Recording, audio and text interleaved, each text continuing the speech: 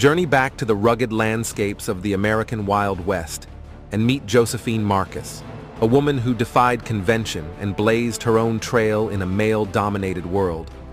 Josephine Marcus was born in New York City in 1860 and later migrated westward with her family during the Gold Rush era.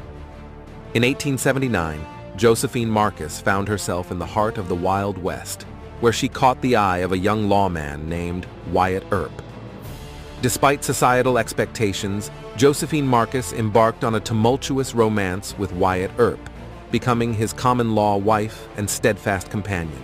Josephine Marcus played a pivotal role in the events leading up to the infamous gunfight at the OK Corral, standing by Wyatt Earp's side during the tense standoff.